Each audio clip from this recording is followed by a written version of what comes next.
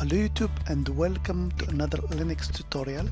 So today I'm going to show you how you can archive your files using this well-known uh, archive utility that you can find in almost any Unix platform which called tar. So already let's get started. So here I'm on my desktop folder.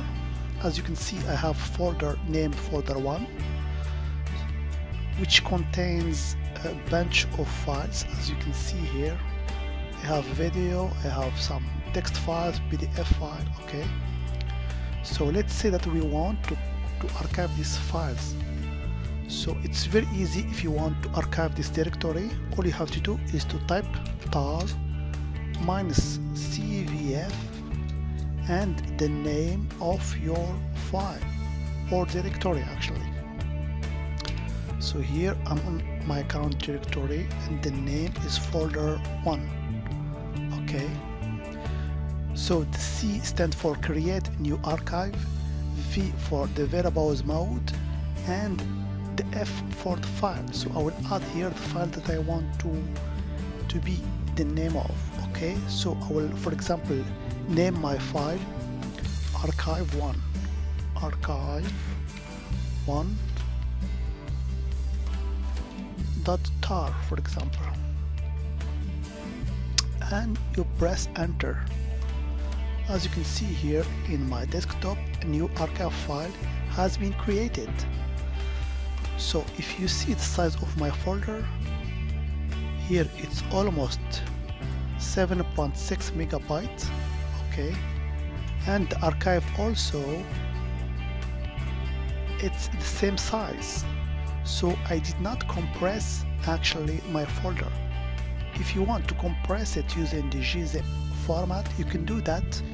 So all you have to do is to add the option Z to your file here. So now instead of having just the .tar file you will have a .gzip by the way tar.gzip is equal or similar to the gzip okay. And then you press enter.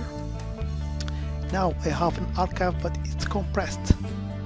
If I let me see the size now. As you can see it now it's compressed. It's 7.1 megabytes. Okay. So now let's say that I want to see the content of my tar file so it's very easy. If you want to see the content of your tar file or archive file all you have to do is to add actually the T option. So the T for the list content V for variables and F the name of your file. So I don't need here the folder. I want just to see the list of the file that my archive contains as you can see now I see all the content of my archive file. Okay so if you want to uncompress or unarchive this file let's first unarchive it. So I will delete my folder here. Move to, to trash actually. Okay. Now let's see that I want to unarchive this file so it's very easy also. But this time instead of the T option we have to add X.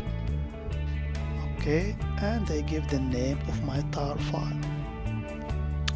And by default it will extract it to the current directory which is my desktop. As you can see now in my uh, desktop the folder has been unarchived with same uh, content okay? So let's say I will delete it once again in order to to make a test.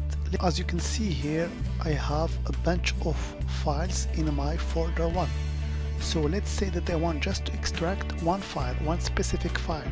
For example I want just to extract this oracle.sql file here. So it's very easy. All I have to do is to type minus xvf to extract archive and I have to provide the name of my file. So as you can see here I provided folder 1 oracle.sql and I hit enter.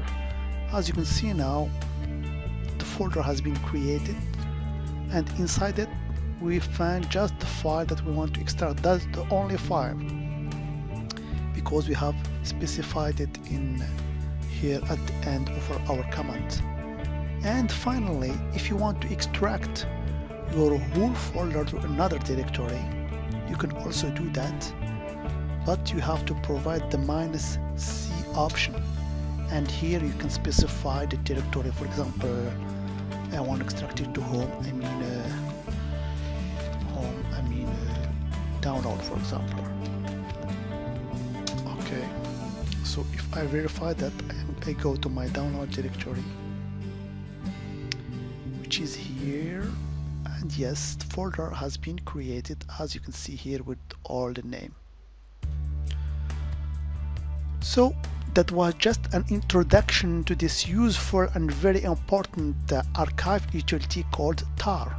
As always I hope it has been informative for you and I want to thank you for viewing. Bye bye